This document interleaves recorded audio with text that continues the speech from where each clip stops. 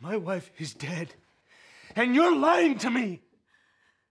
Luke Evans plays Megan's husband, and I really wanted someone who had an edge to him, but also could bring the humanity and the sense of loss when a wife is missing, but yet keep you guessing the whole time. The challenge with the, with the role for me was to not give away too much too early and you know try and get the audience on side and, and sort of make them question who they want to believe because for the most of the part of the story you know you, you, you have to choose who you want to believe it's an interesting thing to play knowing that the majority of the audience members watching this film will be suspecting him of being guilty You don't have to be afraid of being alone.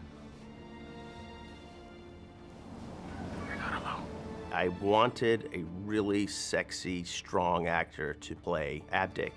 And I thought of Edgar Ramirez and I called Edgar up and I said, Edgar, would it be weird if, if a Venezuelan had the last name of Abdic, first name Kamal? He goes, absolutely not. We're a melting pot. I could totally be Kamal Abdic. And I said, all right, come on up. As an actor, you listen a lot, and that's what, what, a, what a therapist does. And it was very interesting for me also to explore something that I've never done before. You want to talk about that?